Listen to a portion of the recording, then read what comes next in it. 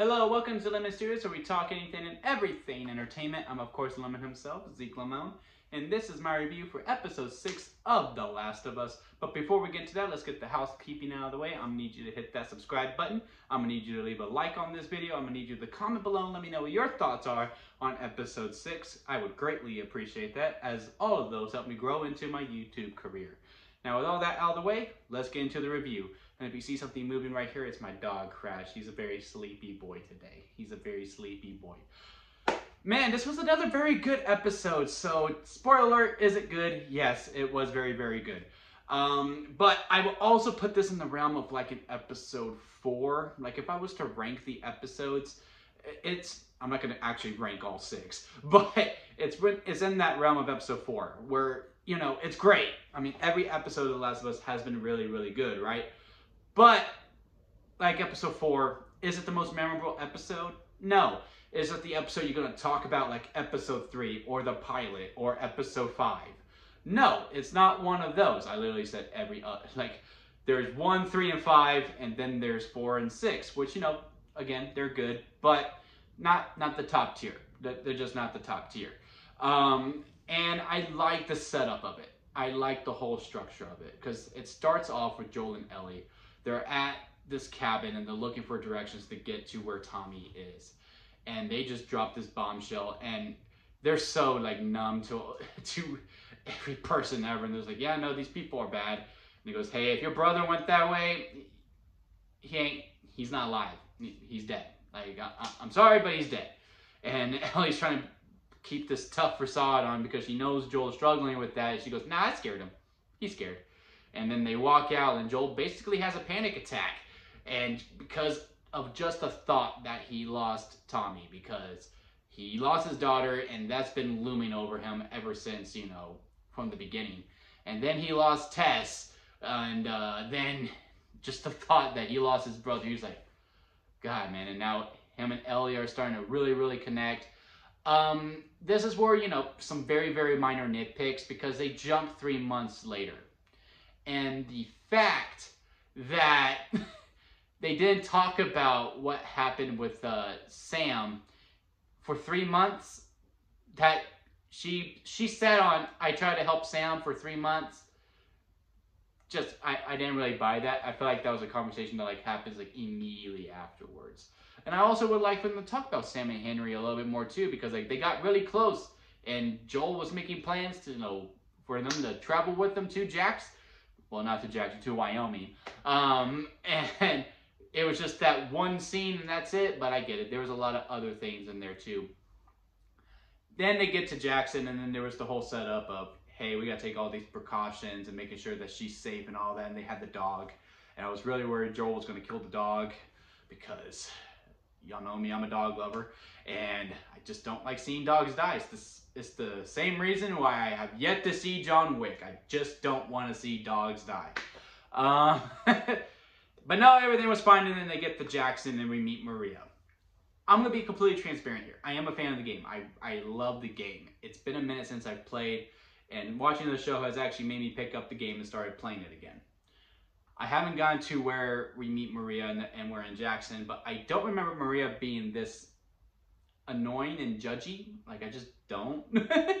um, it, I don't think that she's changed that much, but she like really bothered me. but I'm really having a hard time remembering if she bothered me this much in the game as well, because it does make sense. Joel wasn't the greatest guy, but um, when she's having the conversation with Ellie, I'm going to start doing some jumping around. I'm going to go back later because there's there's another scene that really bugged me, but again, it's very nitpicky. It's not going to judge the episode. Um, that she's cutting Ellie's hair and she's like, "Hey, you need to watch out who you follow." And Ellie's like, "You know, Tommy did the exact same things Joel did, right?" And she goes, "Well, it, it, it was just such a dismissive comment of like, well, Tommy was following Joel." I mean, Tommy doesn't have to listen to Joel. Tommy can have his own brain.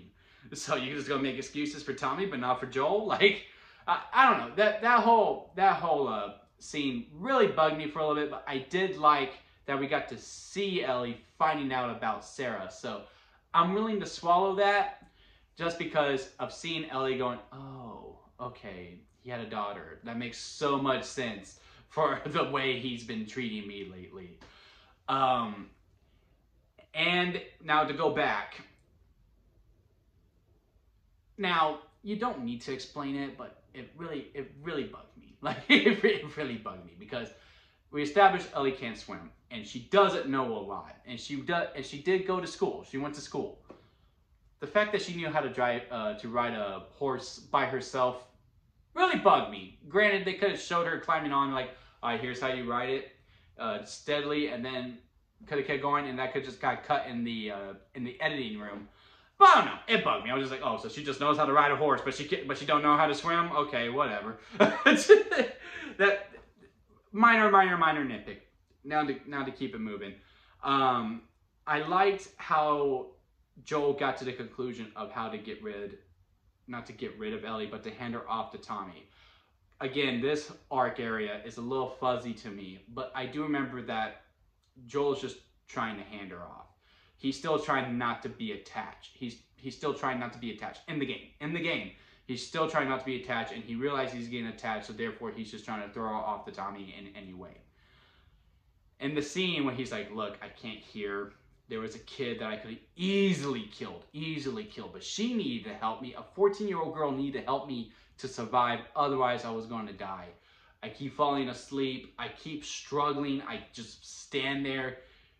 I I'm not there. I, I want her to get there alive. Like he's he truly believes to protect her is to hand her off to Tommy, as opposed to in the game, I believe he was just trying to just get rid of Ellie because he didn't want to get closer anymore. So I really like the handling of that scene in the show a lot more than it did in the game. And then we get to the scene where, for the most part, it's shot by shot. It's one of the most iconic scenes in the game where they have the confrontation about Sarah and, you know, him to drop her off with Tommy. Um, and again, seeing that she found out about Sarah and seeing Joel actually really wanted to protect her, but Ellie only catching the end of it. I wish we could have seen that more because we see her walking with them for a little bit, like from a from a distance. I would like to see her like actually pull up when he goes, "Hey, you need to get her," so we can understand why she's so mad. But overall, the scene is still great and still leaves that gut punch for the most part. And then it kind of just gets deflated. well, not deflated. Again, I do like the episode. It's just a lot of things that nitpicked me up that I have very, very nitpicks on. And this is what it really is. It's really nitpicks. Because it's just the next day and it's Tommy. And she's like, well, all right. I lost another one. And then when they get to the barn, he goes, yeah, I was just gonna leave, but I figured you deserved the choice, and then she just throws it on him, which it's a great bit. It's very, very funny. I really, I really liked how quick it was, and then they moved out. I just would have liked something a little bit more in between. I would have liked Joel, because, you know, he just storms off, and then it's the next day, then, like, everything's all good.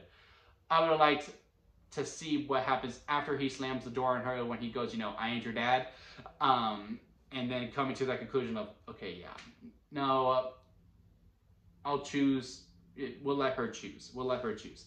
Uh, I would have liked to see that. And then I, was like, come on, give us one good because I know what's happening. I know what's the future.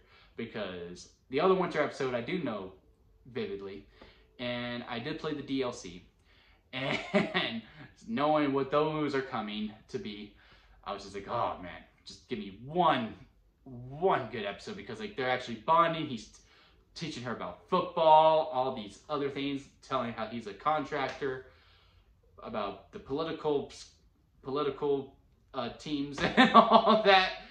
And I was like, come on, just give us one good thing. But of course we didn't. We see the monkeys and okay, the fireflies have obviously moved somewhere. Bad group comes in, Joel gets hurt and he falls, and then you see the pain in Ellie. Uh, like there's just she's starting to have the panic attack too, going, I can't lose you, I can't lose you, I can't lose you, I can't lose you. Because obviously her fear that we learned in episode 5 is that she will die alone. So, and then we, we cut to black. Now, I wonder how we're going to do this. I wonder if they're going to go linear with the game. And we're going to get the second winter episode, and then we'll get Left Behind. Or, what I think they should do is that they do Left Behind next, and then they do the second winter episode, because I think that makes more sense uh, chronologically without spoiling anything for the future that you have not seen.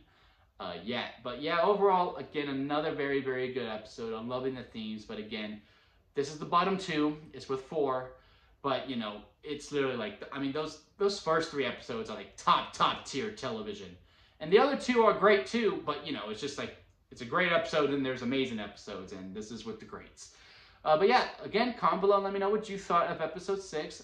Am I being too nitpicky? because I can see if I am. Uh, please let me know if I am, and but you know, do it respectfully. Don't just call me an idiot.